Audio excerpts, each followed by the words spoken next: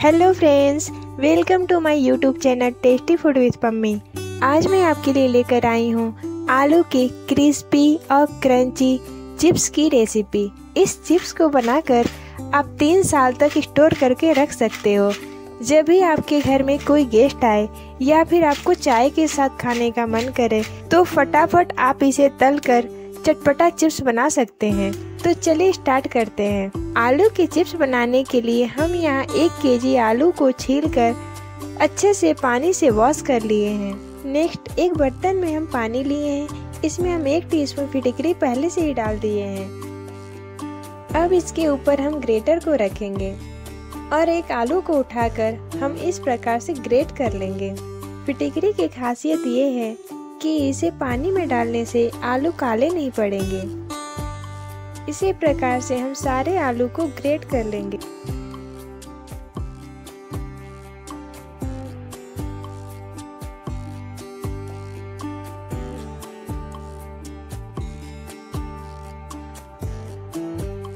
ये हम सारे आलू को ग्रेट कर लिए हैं।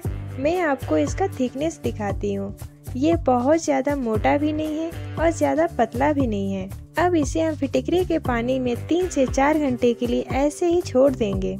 तीन घंटे हो गए हैं। अब इसे हम पाँच से छः पानी में अच्छे से धोकर साफ़ कर लिए हैं। ये देखिए, पानी एकदम साफ़ है। नेक्स्ट हम एक बर्तन में वन एंड हाफ़ लीटर पानी लिए हैं। इसे हम अच्छे से उबाल लेंगे।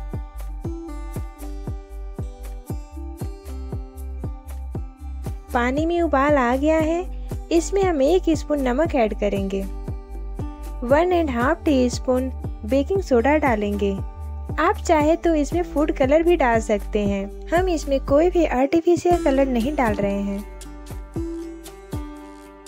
अब इस आलू को हम उबलते हुए पानी में डाल देंगे।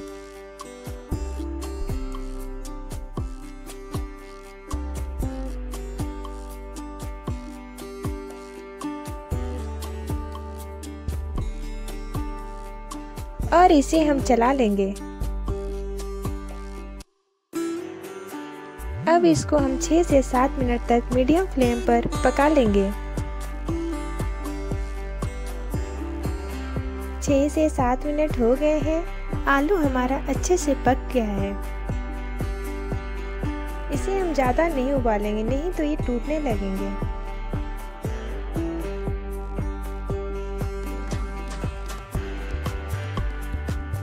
अब इसे हम स्ट्रेनर में इस प्रकार से इसे निकाल लेंगे।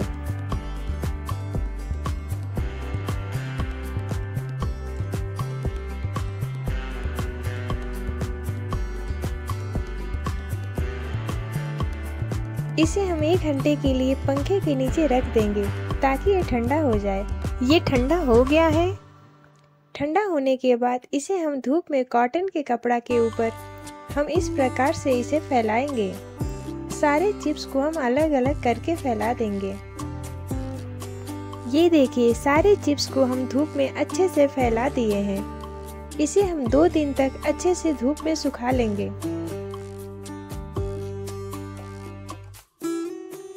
चिप्स हमारा सूख गया है। ये देखिए, सूखने के बाद ये कैसा दिख रहा है।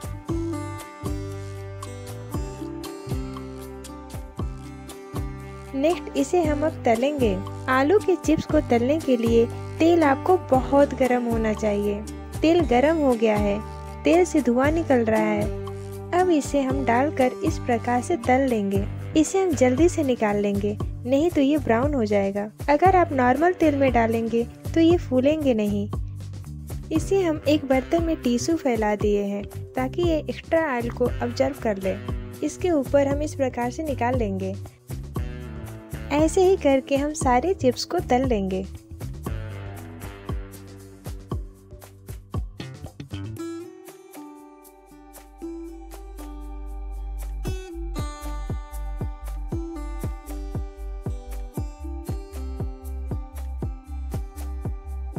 तो ये हमारे आलू का चिप्स बनकर तैयार है। इसके नीचे से टिश्यू अब हटा देंगे। और इसे हम थोड़ा चटपटा करेंगे। ये हम चाट मसाला लिए हैं। इसे हम इसके ऊपर स्प्रिंग कर लेंगे।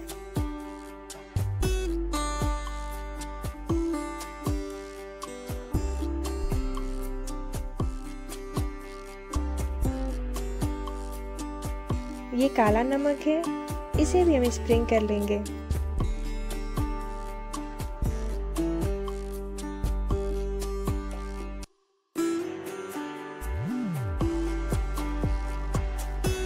लाल मिर्च पाउडर लिए हैं। इसे भी हम इसके ऊपर इस प्रकार से डालेंगे।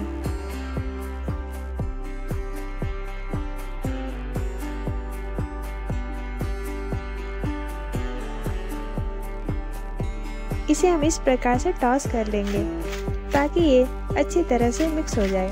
ये हमारा चटपटा आलू चिप्स बनकर तैयार है। बच्चे को आप बाहर के चिप्स के बजाय घर का आप इस प्रकार से बना कर खिलाइए।